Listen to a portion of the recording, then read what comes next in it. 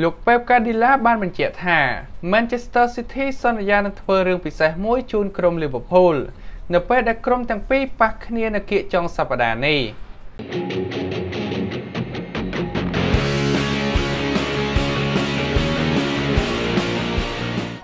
លោក Pep Guardiola បានបញ្ជាក់ថាកីឡាកររបស់ក្រុម Manchester City នឹងឈរធ្វើជារនាំងកិត្តិយសជូនក្រុមហង្សក្រហម Liverpool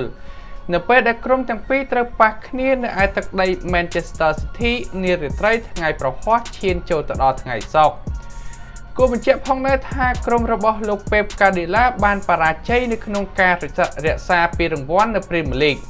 របស់ពួកគេ បន្ទាប់ពីបានចាញ់ក្រុមតោឃីវ Chelsea ដោយលទ្ធផល2ទៅ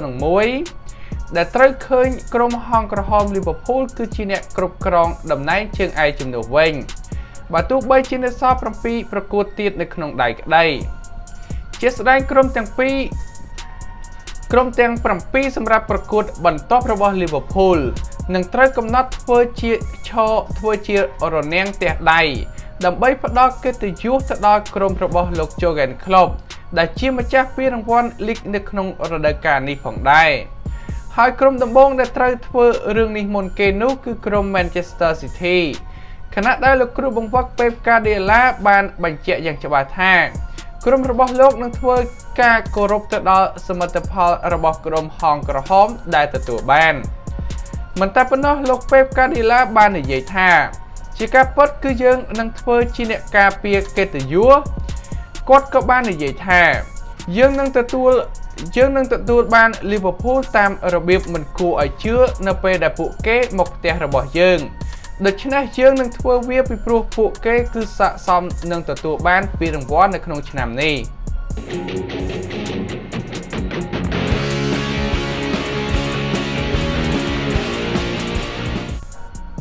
លោកជូសេម៉ូរីញ៉ូបានចាប់ចិត្តចង់បានអតីតកូនក្រុមរបស់រៀលម៉ាឌ្រីតមួយរូបមកលេងជាមួយនឹងក្រុមស្ពឺនារដូវកាលក្រោយ។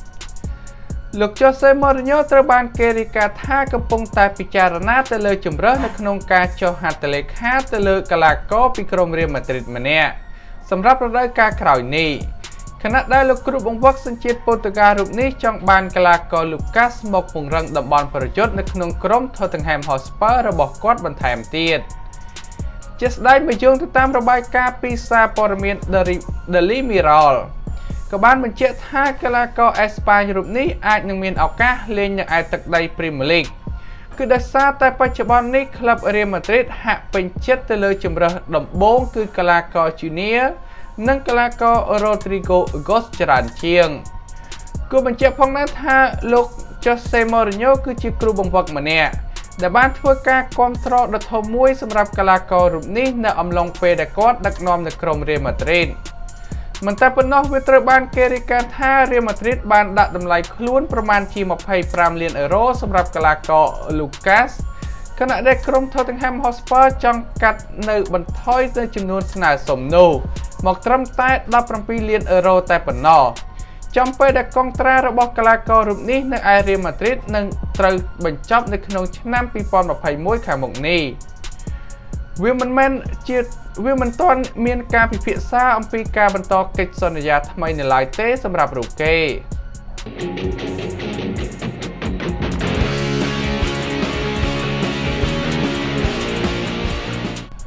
មេធំ Manchester United បានប្រាប់លោក Ole Gunnar Solskjaer ឲ្យលៃឡកសេរីចេញកីឡាករនៅក្នុងក្រុម4រូបនេះចេញដើម្បីនាំយក Sancho មកជំនួសវិញបើយោងទៅតាមរបាយការណ៍ចុងក្រោយមួយ ក៏បានបង្ហាញថាលោក Ole Gunnar Solskjaer គ្រូបង្វឹករបស់ក្រុមបិសាចក្រហម Manchester United គួរតែត្រូវលះបង់កីឡាករ Jess Lingard កីឡាករ Alexis Sanchez ដើម្បីបង្កើនប្រាក់ចំណូលនៅក្នុងការចុះហត្ថលេខាទៅលើកីឡាករ Borussia Dortmund ពីក្រុមកីឡាករ Jadon Sancho ពីក្រុម Borussia Dortmund ជំនួសវិញ។ គួរបញ្ជាក់ផងដែរថាក្រុមវិស័យក្រហមក៏បានបង្ហាញការចាប់អារម្មណ៍ទៅលើខ្សែប្រយុទ្ធវ័យក្មេងអង់គ្លេសរូបនេះដែលអាចរកបាន17គ្រាប់និងអាស៊ីសបាន17លើក នៅក្នុងក្របខ័ណ្ឌ Bundesliga នារដូវកាលនេះប៉ុន្តែទោះបីជាយ៉ាងណានាយកក្លឹបរបស់ Manchester United គឺលោក Woodward ក៏បានប្រាប់ទៅកាន់គ្រូបង្វឹកលោក Ole Gunnar Solskjaer ថា គាត់គួរតែចាត់ចែងលក់កីឡាករនៅក្នុងក្រុម4រូបចេញដើម្បីបង្កើនប្រាក់ចំណូលទិញយកកីឡាករសាន់ឆូមកជំនួសវិញគួរបញ្ជាក់ផងដែរថាបូរ៉ាសេដូម៉ាន់គឺហាក់មិនព្រមកាត់បន្ថយតម្លៃស្នើសុំដែលមានចំនួន110លានផោនរបស់ពួកគេសម្រាប់សាន់ឆូនោះទេដែលជាហេតុផលដែលធ្វើឲ្យក្រុម Manchester United គឺត្រូវតែពិបាកនៅក្នុងការសម្រេចចិត្ត ដើម្បីទទួលយកការចុះហត្ថលេខាមួយនេះសម្រាប់កីឡាករវ័យក្មេងរបស់ Borussia Dortmund មិនតែប៉ុណ្ណោះបើយោងទៅតាមសារព័ត៌មាន The Sun ក៏បានឲ្យដឹងថា Manchester United អាចនឹងត្រូវបង្ខំចិត្តលក់តារាឆ្នើមរបស់ពួកគេនោះដូចជាកីឡាករ Jesse Lingard និងកីឡាករ Sanchez ដើម្បីបញ្ចប់នឹងការចុះហត្ថលេខាទៅលើកីឡាករ Sancho ខណៈដែលកីឡាករនៅក្នុងក្រុមផ្សេងដូច ផ្សេងទៀតដូចកីឡាករ Andres Pereira កីឡាករ Phil John និងកីឡាករ Chris Smalling ក៏អាចនឹងត្រូវប្រឈមមុខទៅនឹងការលក់ចេញរបស់ Manchester United ផងដែរ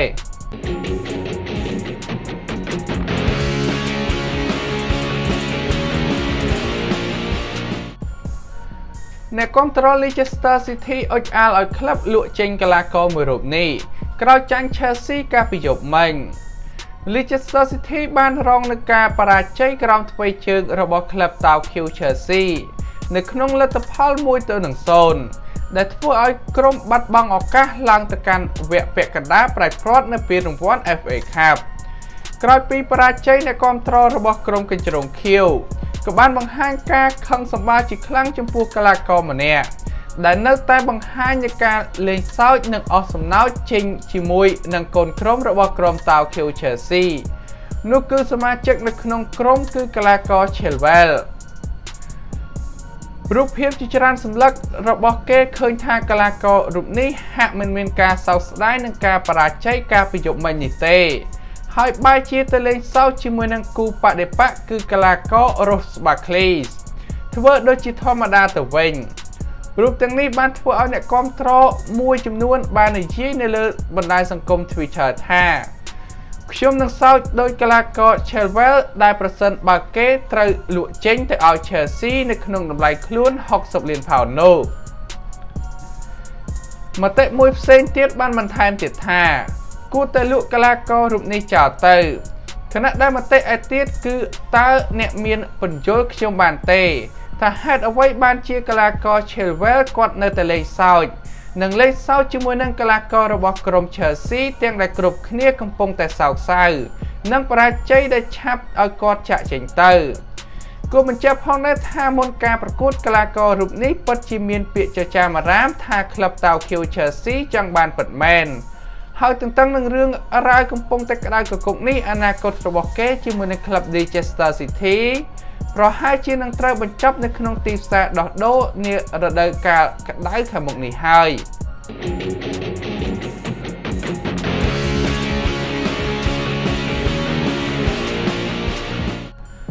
ជៀសវាងភ័ន្តច្រឡំលោកគ្រូបង្វឹកបាសេឡូណាបានប្រាប់ហេតុផលភ្លាមភ្លាមរឿងបណ្ដាក់គ្រីស្មាន់ឲ្យចូលលេងកាលពីថ្ងៃសៅរ៍កន្លងទៅក្លឹបបាសេឡូណាបានតតាំងជាមួយនឹងក្រុម Celta Vigo ដោយបញ្ចប់លទ្ធផលបានត្រឹមស្មើ2ទៅនឹង2នៅតំបន់ប្រយុទ្ធជំរើស11អ្នកដំបូងនាពេលនោះគឺគ្មានវត្តមានរបស់កីឡាករគ្រីស្មាន់នោះឡើយដោយបដូរជំនួសការប្រើប្រាស់យុវជន Ansu Fati វិញខណៈដែល Griezmann បានត្រឹមតែអង្គុយនៅកៅអីបំរុងតែប៉ុណ្ណោះពាក់ព័ន្ធទៅនឹងបញ្ហានេះធ្វើឲ្យមានការងើយឆ្ងល់ថាហេតុអ្វីលោកគ្រូបង្វឹកសម្រាប់ចិត្តអញ្ចឹងទៅវិញ ទាំងដែលការប្រកួតប៉ះជាមួយនឹងក្លឹប Athletic Bilbao នៅពេលមុននោះ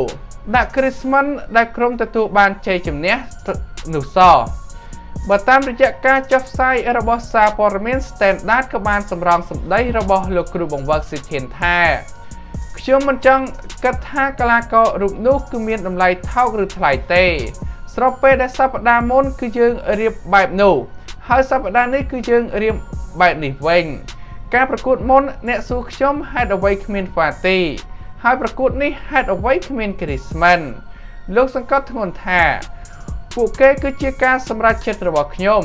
ពលគឺខ្ញុំគិតទៅលើបច្ចេកទេសលេងជាធំ មួយផ្សេងទៀតពួកគេក៏មិនមានការចង់តវ៉ាអ្វីនោះដែរគួរបញ្ជាក់ផងដែរថាសម្រាប់កីឡាករ Griezmann ត្បិតបើជាកីឡាករដែលមានតម្លៃខ្លួនកលបន្តិចមែនតែចាប់តាំងពីរូបគេ ទេមកបាសេឡូណានោះរូបគេទៅតែរកបាន8គ្រាប់តែប៉ុណ្ណោះនៅក្នុង31ប្រកួតសរុបឲ្យក្លឹបយក្សនៅឯអេស្ប៉ាញនេះ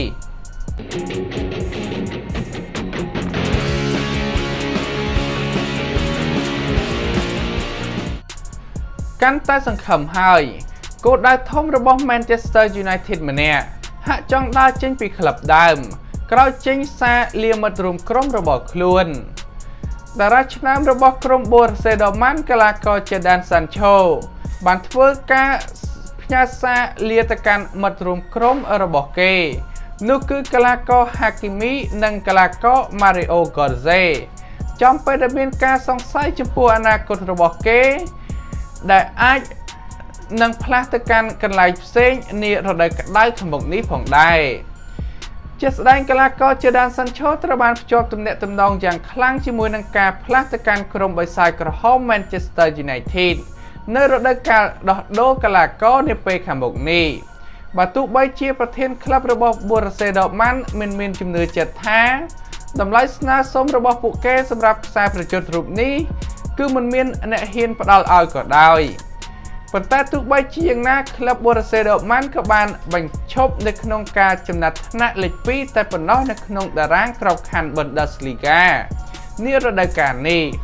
ហើយវាច្បាស់ណាស់ថាកីឡាករ Hakimi និង Götze នឹងមិនស្នាក់នៅក្លឹបសម្រាប់រដូវកាលក្រោយនោះទៀតនោះទេ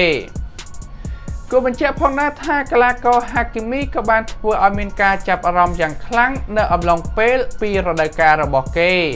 បន្ទាប់ពីខ្ចីជើងមកពីក្រុមរៀលម៉ាឌ្រីតហើយវាត្រូវបានគេរំពឹងថាខ្សែការពាររូបនេះនឹងចូលរួមជាមួយនឹងក្រុម Inter Milan នៅក្នុងការផ្លាស់ប្ដូរជាអចិន្ត្រៃយ៍មួយសម្រាប់តម្លៃខ្លួន36.3លានផោនទន្ទឹមនឹងនេះផងដែរថា Gorse ក៏នឹងចាក់ចេញផងដែរបន្ទាប់ពីរូបគេបានប្រកាសជាផ្លូវការដោយសារតែកិច្ចសន្យារបស់គេមិនត្រូវបានបន្ត ហើយយ៉ាងណាមិញជាដានសាន់ឆូក៏បានប្រើប្រាស់បណ្ដាញសង្គមដើម្បីសរសេរសារលាទៅដល់មិត្តរួមក្រុមទាំងពីររូបនេះខណៈដែលបានបង្ហោះរូបជាមួយនឹងកីឡាករហាគីមីនិងសរសេរថាវាពិតជារីករាយណាស់ដែលបានលេងជាមួយនឹងអ្នកខ្ញុំគឺនឹកអ្នកខ្លាំងណាស់និងនឹកអ្នកជាជាមិនខាននាពេលអនាគតបន្ទាប់មកគេក៏បានបន្តបង្ហោះរូបជាមួយនឹង Gorse និងសរសេរពាក្យថា ខ្ញុំនឹងនឹកអ្នកអរគុណចំពោះអ្វីគ្រប់យ៉ាងដែលអ្នកបានបង្រៀនខ្ញុំខ្ញុំពេញចិត្តនៅក្នុងការស្ដាប់រាល់ដំបូន្មានរបស់អ្នកនៅក្នុងទីនេះហើយអ្វីដែលគួរឲ្យកត់សម្គាល់ជាងនេះបន្តទៅទៀតនោះគឺកីឡាករជាដានសាន់ឆូនៅបន្តទៀតថាសូមសំណាងល្អសម្រាប់ជំហានបន្ទាប់របស់បងប្រុសទាំងពីររូបជួបគ្នាឆាប់ៗនេះ